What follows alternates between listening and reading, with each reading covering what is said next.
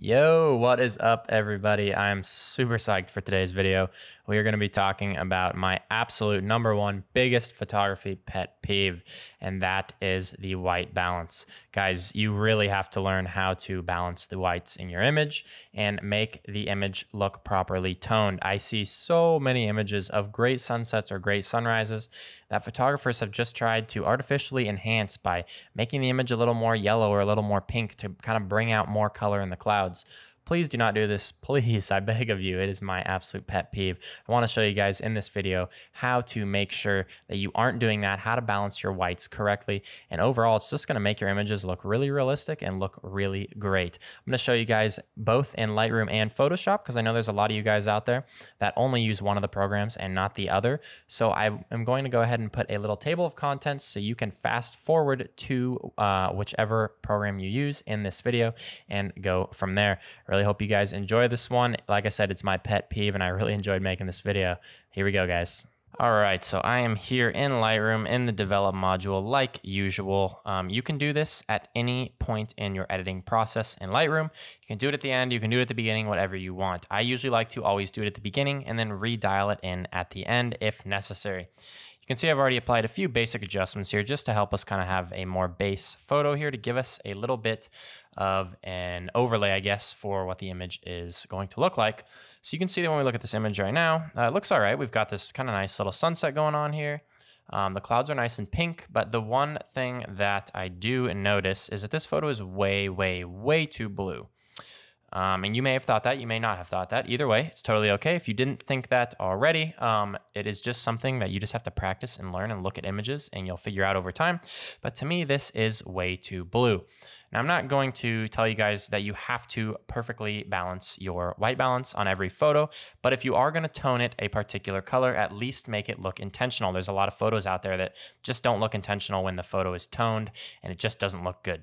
So this is how you go about doing it in Lightroom. Um, you have your white balance controls up here.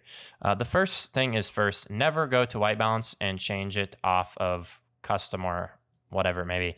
Just do custom controls. I mean, if you try and use one of these, it's just going to look terrible. So never, never use any of the presets there.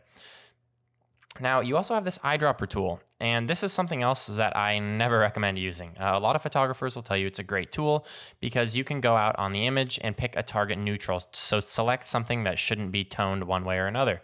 So these salt flats are actually white. So let's just say that I go ahead and click on that and now my image looks terrible once again because it's basically just neutralized this color. So don't do that either. Tone the image um, by looking at it. That's just going to be so much better for you in the long run. You're going to learn how to tone them yourself a little bit better. And manual is always better than an automatic process for white balance. So what I like to do here is click on the number. Uh, I'll change the temperature and the tint as I see fit. But what I do is I look at the image. And when I look at this image right now, like I said, it is too blue. Now I may also need to change the tint, um, but I know I need to change the temperature because right now it looks way too blue. So I'm going to make sure that I click here. I've got this number selected. I'm going to hold shift and I'm going to use my arrow keys. You can see I'm changing it.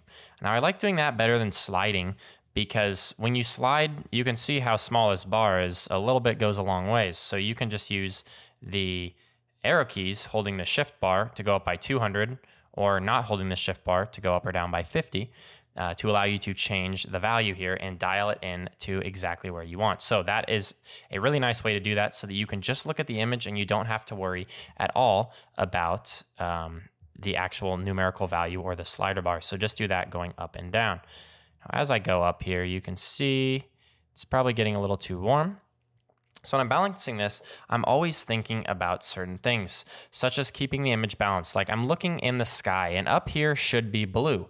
Uh, when I was out shooting, I remember there was these nice bright pink clouds, and up top there was nice blue sky behind it. So I want to make sure that stays blue. So when I balance this, I want to make sure there's still some blue in the sky. Probably about right there is good. Now I don't think the tint needs to be adjusted, but I'm just going to click on it and then go up and down on the arrow keys once again anyways. Now, I want to be really clear here. Do not fall into the common pitfall that I see so many photographers fall into these days and say that, oh, I have a really nice sunset. So let's go ahead and just make that a little more pink. And now it looks like the sunset was a lot better, but it just simply doesn't look realistic. So remember that in any great sunset, there's always going to be blue tones somewhere in the sky, most likely. Um, and so you want to keep those tones realistic looking. So uh, for that reason, I would just simply slightly adjust this to a spot where I feel like it looks right. Now, the things that you don't want to look at when you're adjusting the temperature in the tint are the clouds because the clouds are always changing depending on what kind of light is hitting them. You want to look at the foreground. And of course, with a really great sunset, the foreground may also be toned as well, but it's not going to be super, super saturated.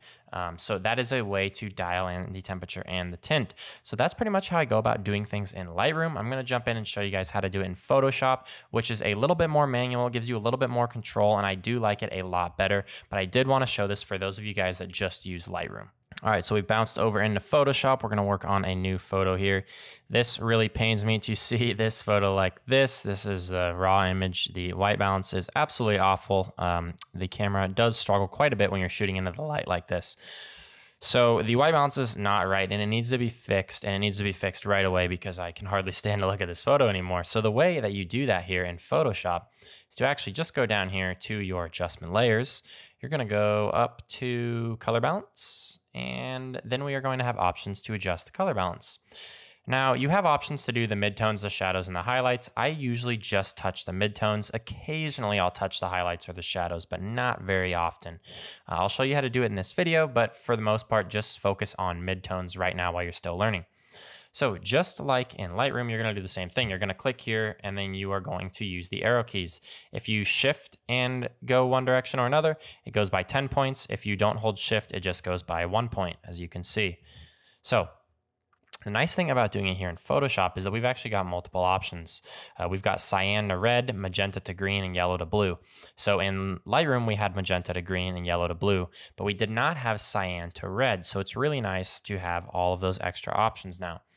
So the first thing that I noticed about this image is it is way too blue. So let's just go ahead and hold shift and hit this down a couple times.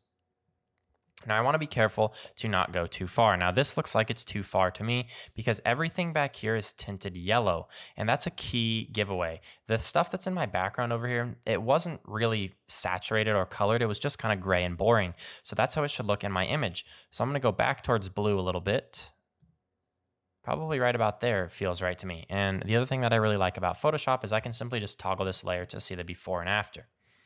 Now, the other thing that I'm noticing in this photo is that it's appearing a little too cyan. And I'm looking at this little white stripe in this rock here. This rock is like orangish red, so it shouldn't have these little like bluish green tones. So I'm gonna add in some red here. And you can see if I hold shift, that's quite too much. So I'm not gonna hold shift. I'm just gonna hit it a couple points here. And now maybe I'm noticing that there might be maybe too much magenta. So I might add in some green probably about to right there. Now you can see here in Photoshop, a little bit goes a very, very long ways. So we got to be really careful with how far we're doing it. You can see I've only added two points on each of these top two sliders. And let's toggle that. So you can see that now I'm in a much more workable spot. The things that I like about this image is these clouds over here are a little bit blue, which seems right. And then these clouds around the sun are a little bit yellow, which seems right.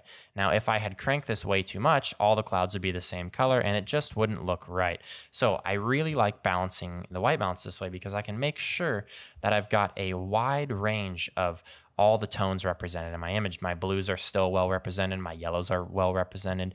My oranges are all here. My reds are all here. Everything looks really well balanced. So when you're balancing the white balance, just remember it's like balancing a teeter totter. Go back and forth until you find the spot that looks the most natural to you. Alrighty, guys, I feel so much better after putting that out on the table. I'm going to be sending this link to everybody whenever they ask for help on white balance. It's seriously my huge pet peeve because it honestly takes down so many great photos. I really hope that this video was helpful for you guys and that you can use this over and over again to properly balance your images and make sure that they look just absolutely fantastic. Thank you guys so much for checking out this week's video. Feel free to let me know if you have any questions down below in the comments. I will make sure to get back to you guys. Thank you guys so much and we'll see you next time. Bye-bye.